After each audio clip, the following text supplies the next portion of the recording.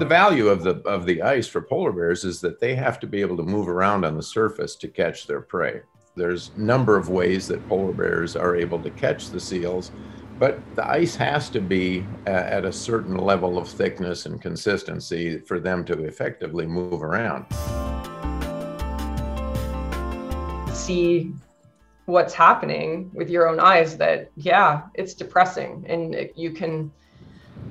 then come back to the you know the real world and look around and nobody's changing things and you know or it's not changing fast enough.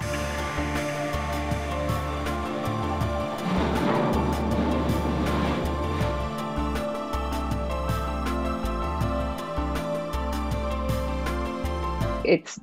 near impossible for us to to see a place where we don't reach an essentially sea ice free arctic even even if we're we're able to do the work to create much much lower emissions